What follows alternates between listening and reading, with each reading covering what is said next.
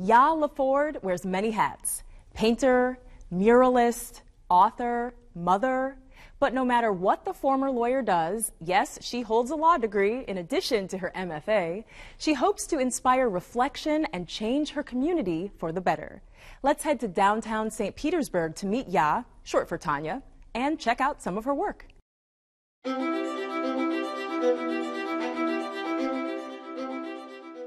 You know, when you approach art, it's this living thing. And I think that for the context of what I try to create, I try to activate art. So my art is all about drawing the person inside and you becoming a part of the artwork. So if uh, my lines are the veins or the arteries, you become the heartbeat. My name is Ya La'ford, and I'm an installation muralist and um, educator.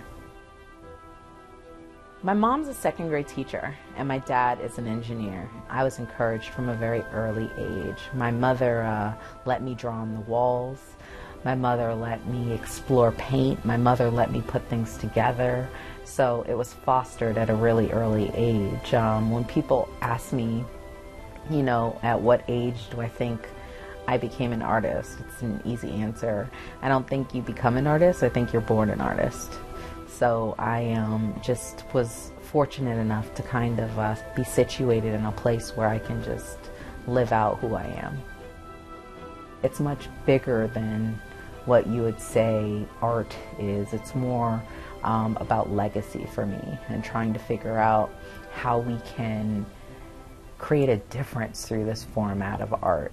I don't feel like what I do can be compartmentalized by materials. It's what the end result is with how I bring humans into a place where we can look at each other and bridge those gaps. For instance, the Sunnel. So the Sunnel is a pedestrian walkthrough that connects from Ferg's, which is a restaurant that leads right through to the Rays Tropicana Field most people walk through this space that, you know, they're not thinking about consciously.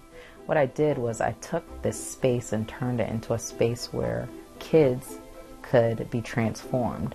I brought them and sat them in front of politicians, leaders, local officials, taught them how to ask questions, and to have a general inquiry of what it is that these leaders are doing for them. And this is a social practice that's constantly engaged in my artwork. My art is really created for a fine art institution. However, it's very important to me that the community can be included in my art making because I think that that's my means of bridging a conduit where we can actually see things from the same perspective. So many kids that will get to see my artwork going through the Weldon Johnson Library, or will get to see my artwork on the back of the Morean Museum. Will not be going into a museum, and it's important to me that they know that they're as important as my collectors. St. Pete is definitely going through a renaissance right now, and I feel really blessed to be a part of it. So I recently completed a mural called The Golden Wave. It is uh, directly correlated to a book that I've written called Muralopia.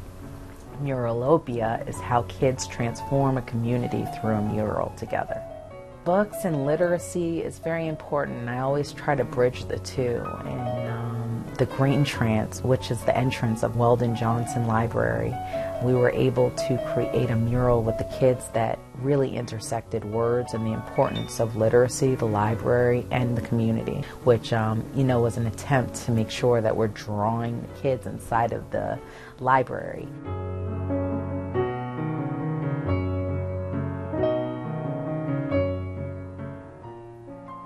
Even after getting my law degree, I went and got my master's in fine arts. So this education literally backs and informs my practice. When I am in the art making aesthetic, I come to it from a very philosophical perspective. I have to understand philosophically why I'm making these marks, how these marks push forward interconnectivity. So there is the psychology behind art making that kind of adheres to, you know, my legal background.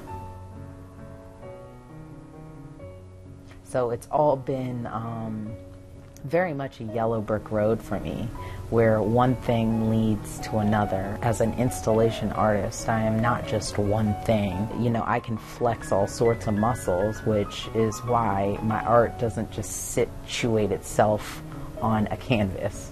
It then begins to grow and, and take new form and jump off of one place and onto another where it can impact the hearts of others.